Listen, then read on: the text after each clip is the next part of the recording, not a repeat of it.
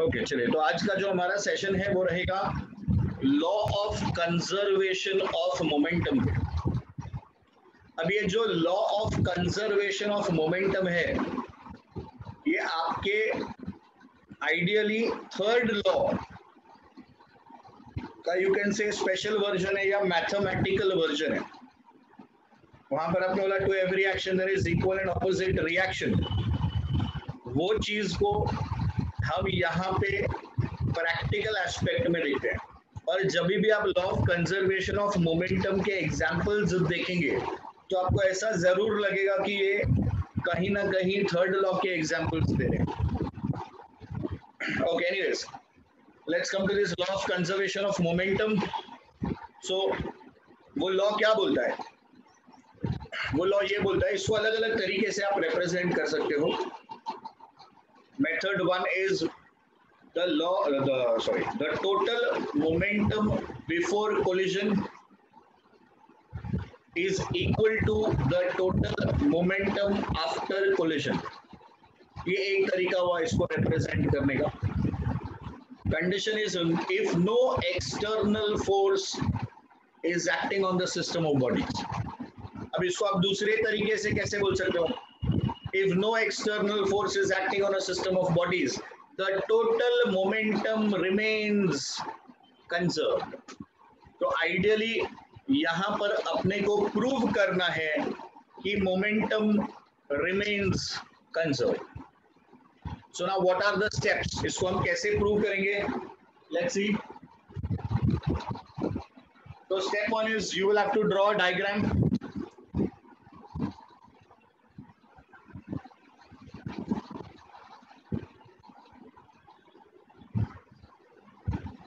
so let us say दो bodies है हमारे पास ए एंड बी ए का मास एम ए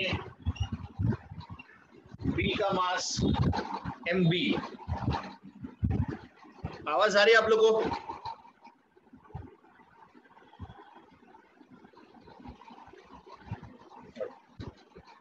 सो ए का मास एम ए बी का mass M B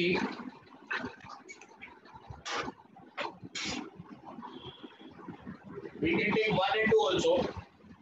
One and two will go more conveniently. तो फिर आपको ए बी या कुछ भी पी क्यू नाम रखोगे तो उसके हिसाब से भी चल जाएगा। Speeds are U one and U two so they are moving with speeds U one and U two अब इसमें कंडीशन क्या है देखिए। कंडीशन ये है कि U one must be greater than U two क्योंकि अगर u1 ग्रेटर देन u2 नहीं हुआ तो collision will not take place टक्कर होगा ही नहीं। तो कोलिजन ही नहीं होगा तो फिर मोमेंटम बिफोर एंड आफ्टर का चक्कर ही नहीं आएगा भाई। अब देखिए this is the situation before collision so what is the total momentum before collision अगर हमको टोटल मोमेंटम बिफोर कोलिजन चाहिए, बोलिए, बता सकते हैं आप टोटल मोमेंटम बिफोर कोलिजन कितना होगा? इस सिस्टम का total momentum before collision very good Bharti. Sanskriti try करो बेटा।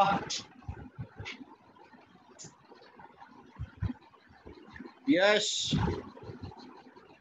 what is the total momentum of this system before collision? चलिए तो टोटल मोमेंटम बिफोर कोलिजन हो जाएगा m1 u1 plus m2 u2 शाबाश, संस्कृति, बहुत बढ़िया। अब क्योंकि u1 is greater than u2 तो कुछ देर बाद दोनों के बीच में टक्कर होगा।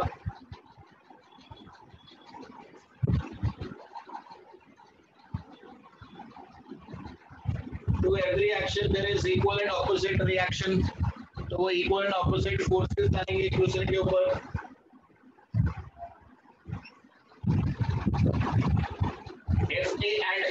एंड फोर्सेस एक्टिंग जब आप वेक्टोरियली आप इसको लिखना चाहो तो आप लिख सकते हो F A bar is equal to minus F D bar आप उल्टा भी लिख सकते हो। Minus F A bar is equal to F D bar either case we will get the same answer चलिए, टक्कर हो गया। यही अपना थर्ड लॉ भी है। जैसे ही टक्कर हुआ, टक्कर होने के बाद क्या होगा? टक्कर होने के बाद दोनों bodies will continue to move with new velocities तो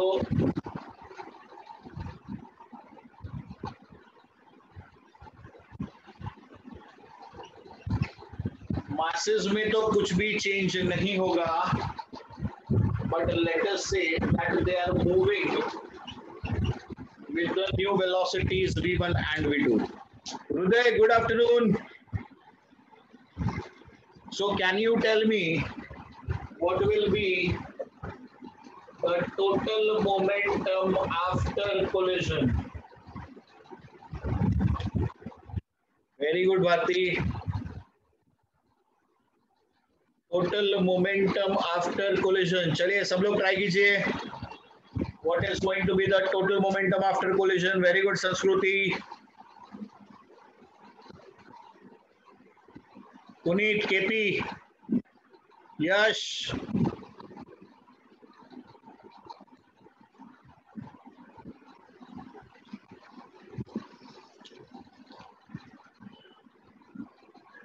Nahi. Hriday, would you like to try, beta? We want the momentum of this system. So what will be the momentum of this system? Parangam, good afternoon. Atishri बेटा आप try करोगे?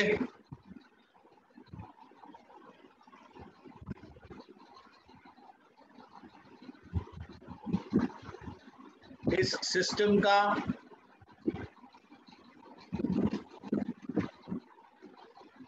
तो आपका answer आएगा M one we one ये इसका momentum plus M two V two ये इसका मोमेंटम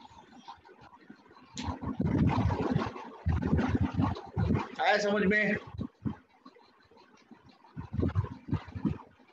इजी है? ओके तो अब हमको ये प्रूव करना है। ये तो चलो आपने बता दिया टोटल मोमेंटम बिफोर कोलिशन इतना है आफ्टर कोलिशन इतना है great but now we have to prove कि ये दोनों इक्वल है। ठीक है? चले तो इसको हम लोग एक सीक्वेंस भी दे देंगे। तो पॉइंट नंबर वन हो जाएगा आपका डायग्राम तो दिस डायग्राम ये पूरा डायग्राम आपका point number one point number two may you may tell this total momentum before collision देखिए name name this P one point number three impedance इसको हम नाम दे सकते हैं P two bar now let's come to the main derivation जो आपका point number four होगा। यहाँ से it is during collision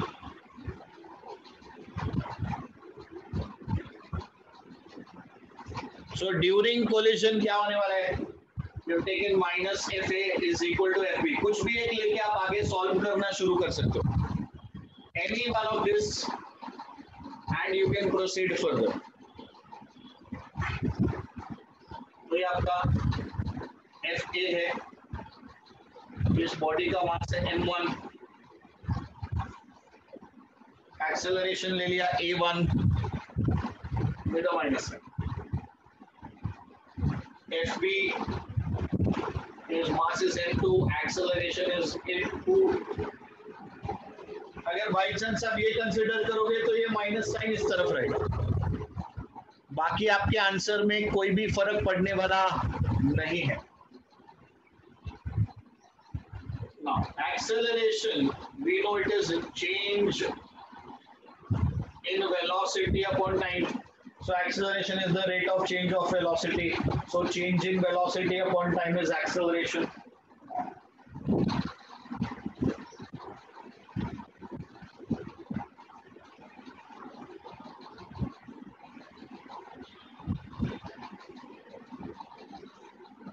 The time of collision is the same in both the cases. तो ये जो आपका इम्पैक्ट टाइम है या कोलिजन का टाइम है this time of collision is the same तो ये आपका टाइम ऑफ़ कोलिजन क्या हो गया? टाइम ऑफ़ कोलिजन सेम है। We are cancelling out each other प्रिस्टी on both sides क्यों क्योंकि ये दोनों सेम है। ब्रैकेट्स ओपन कीजिए। M1 v1 plus m1 u1 is equal to m2 v2 minus m to u2. So now next what we're going to do is we're going to transpose these terms. ये u वाले terms एक साथ, v वाले terms एक साथ. देखिए क्या दिखाई देगा आपको ये आपने कर लिया so m1 u1 plus m2 u2 this is equal to m1 v1 plus M two V two और इसका नाम क्या है? ये मेरा टोटल मोमेंटम बिफोर कोलिजन है। ये मेरा टोटल मोमेंटम आफ्टर कोलिजन है। So basically total momentum before collision is equal to total momentum after collision तो इससे मुझे पता चलता है कि मोमेंटम इज़ कंजर्व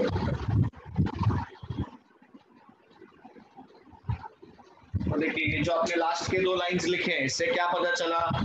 इससे पता चला that momentum is conserve it remain same it is constant तो ये हमने यहाँ पर प्रूव कर दिया। So what exactly do you remember about the frame of reference? क्या याद आ रहा है आपको क्या लगता है आपको फ्रेम ऑफ़ रेफरेंस क्या चीज़ होती है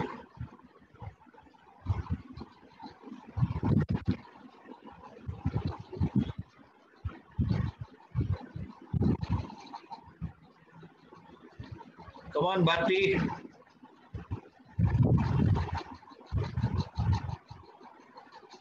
okay very good Bharti तो जिस पोजीशन से हम लोग देखेंगे point of view stated values okay so basically it is with respect to तो जिस पोजीशन से हम देख रहे हैं, उसके हिसाब से जो कोऑर्डिनेट्स है they will keep on changing now, if if you want to, you know, take an analogy तो आपके मैथ्स में एक चीज़ होती है लोकस तो लोकस में हम लोग बोलते हैं with respect to the origin अब आपने उस ओरिजिन को शिफ्ट कर दिया। एक उसमें एक्सरसाइज है बाकायदा।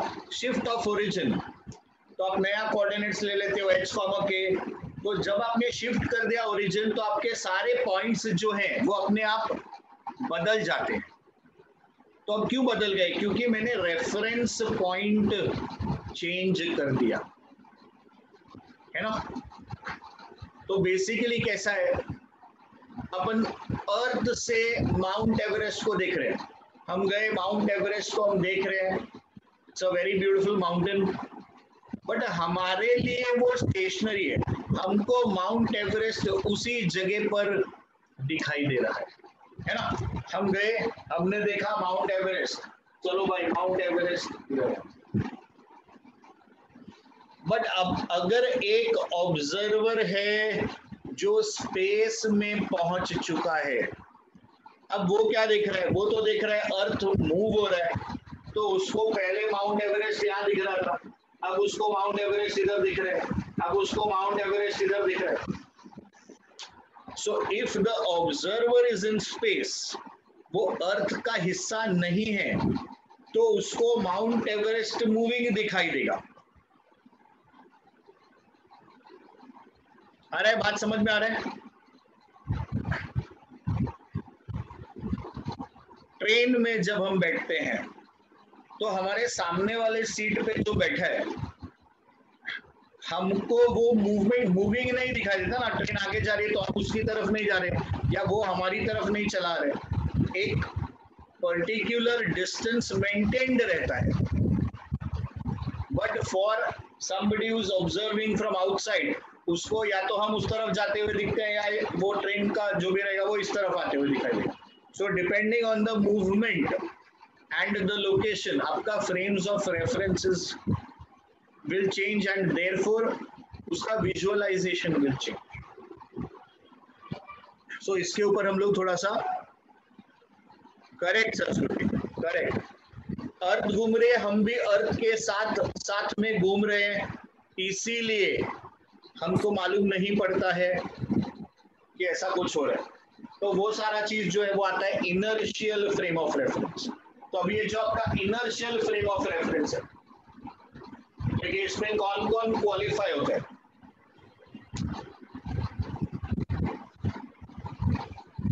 तो जो आपका इनर्शियल फ्रेम ऑफ़ रेफरेंस है, उसका क्वालिफिकेशन के लिए कौन आता है देखिए। When the acceleration is zero. तो जो भी मोशन हो रहा है और उसका नेट एक्सेलरेशन आपको मिल रहा है ज़ीरो यानी नॉन एक्सेलरेटेड मोशन तो then that comes under inertial frame of reference तो अभी जैसे हमने बोला अर्थ घूम रही है, हम भी अर्थ के साथ घूम रहे हैं। Basically both the bodies are moving at the same velocity so net relative velocity with respect to each other zero इसके लिए एक्सेलरेशन भी ज़ीरो सो so, यहाँ पर नॉन एक्सेलरेटेड मोशन होना चाहिए। जबकि आपका non inertial frame of reference जो है it is the accelerated frame of reference. So when we are saying A0, that means अपना body या तो rest पे है या फिर uniform motion में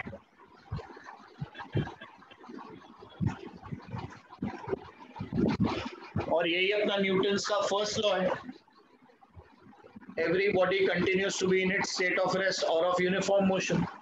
So inertial frame of reference में न्यूटन का first law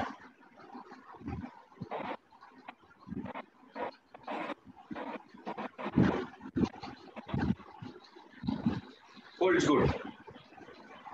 Yeah, it is true. यहाँ पर Newton first law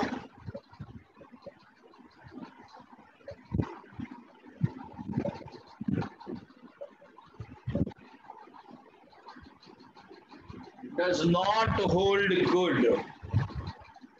तो आपके दो डिस्टिंग्विशिंग पॉइंट्स दे दिए मैंने। एक तीसरा पॉइंट ले लीजिए। इनर्शियल फ्रेम्स में जब भी आप काम करोगे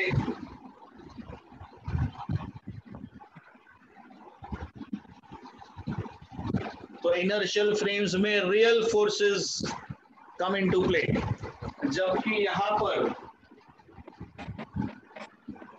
आपके pseudo forces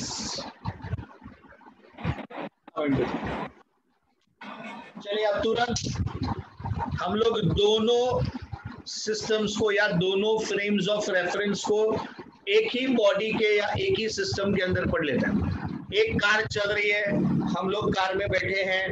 Car is running at whatever speed let's say 100 kilometre per hour so 100 kilometre per hour पे आपका गाड़ी हाईवे पे दौड़ रहा है एकदम।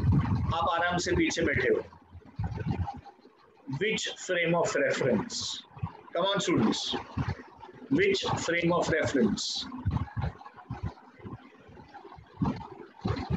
जल्दी जल्दी।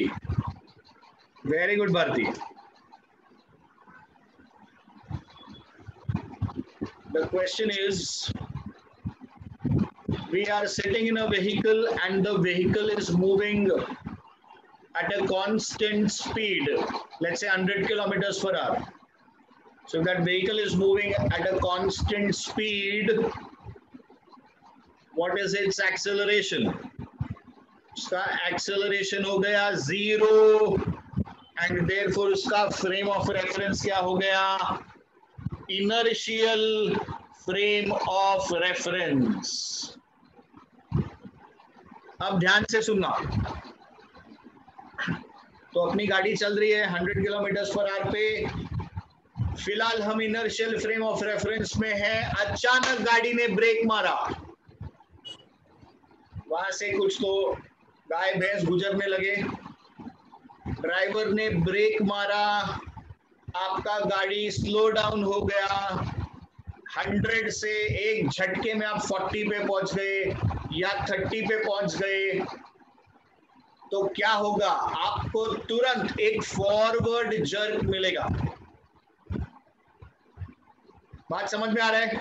सबने ये चीज़ लाइफ में एक्सपीरियंस किया होगा कि अचानक ब्रेक मारने पे या अचानक स्लो डाउन होने पे there is this forward jerk that we experience तो यहाँ पर क्या हो गया? यहाँ पर मेरा सिस्टम सेम है बट मैं कहा पहुँच गया? मैं पहुँच गया non inertial frame of reference में। क्यों? क्योंकि अचानक से मुझे क्या मिला? एक्सेलरेटेड मोशन मिल गया है। स्लो डाउन हुआ था। अब वो थर्टी फोर्टी पे चल रहा था। फिर से सब क्लियर हुआ। वो फोर्टी से अचानक एक्सेलरेटर मारा फोर्टी से सेवेंटी मैं फिर से पीछे की तरफ़ झटका खाऊँगा। मैं फिर से कहा पहुँच गया? नॉन इनर्शियल में। क्यों नॉन इनर्शियल क्योंकि मैं 40 से 70 या 30 से 70 पहुँच गया। I get a jerk in the backward direction this time अब गाड़ी फिर से स्मूथ चल रहा है। मेरा गाड़ी फिर से स्मूथ चल रहा है। कांस्टेंट स्पीड लेट्स से 100 सो अब मैं इनर्शियल में पहुँच गया हूँ। फिर से टर्न लेना पड़ा। तो 100 पे अपने 70 80 किया, एक टर्न ले लिया। जैसे टर्न लिया you will experience an outward force हम कहा पहुँच गए? इनर्शियल से। तुरंत हम कहा पहुँच गए? Non inertial frame of reference में पहुँच गए। तो ऐसा नहीं है कि पोजीशन चेंज करना पड़ेगा अर्थ पे से बाहर जाना पड़ेगा, तभी हमको इनर्शियल और नॉन इनर्शियल मिलेगा। हमको उस गाड़ी के अंदर बैठे बैठे भी इनर्शियल और नॉन इनर्शियल एक्सपीरियंस करने को मिल रहा है। तो बात समझ में आई कि आप लोग